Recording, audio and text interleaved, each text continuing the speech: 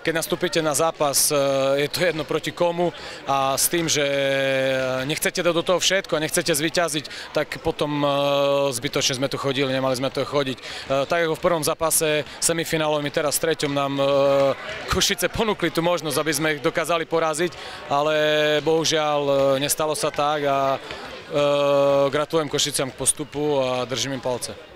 Asi taká najvystižnejšia bola situácia z tretej štvrtiny, keď po naozaj sérii chýb ste požiadali o oddychový čas a vlastne, ja neviem, nebola chuť povedať dievčatám nič, alebo už vlastne ani nebolo čo, lebo to bolo až také okaté.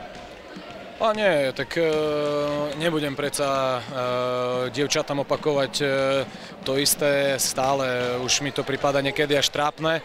A tak, jak som povedal, keď nedajú do toho proti takému superovi viac ako 100%, alebo ja neviem, tisíc alebo čo, alebo niečo podobné, niečo také, ten šiestý, šiestý sens, jak sa hovorí, tak e, nemôžeme zvyťaziť a to proste je, proti takému kvalitnému superovi to musí byť, keď to nie je, tak nemáte šancu na úspech.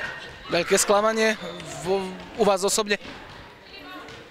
No, na, na ten priebeh tých dvoch zápasov e, tu v Košiciach doma, áno, doma boli určite lepší od nás. E, tu ten prvý zápas a teraz tretí, tak e, to určite bude mrzieť. Keby som vedel, že tie devčatá dali do toho e, všetko, dobre, sú výnimky určite, ale tak by som nepovedal nič, ale takto, takýmto prístupom nemôže byť žiadny tréner, ani vôbec, ani tí ľudia, čo tu boli určite spokojní, však to mohli všetci vidieť. Nie, to nemusí byť odborník na to, aby to dokázal posúdiť.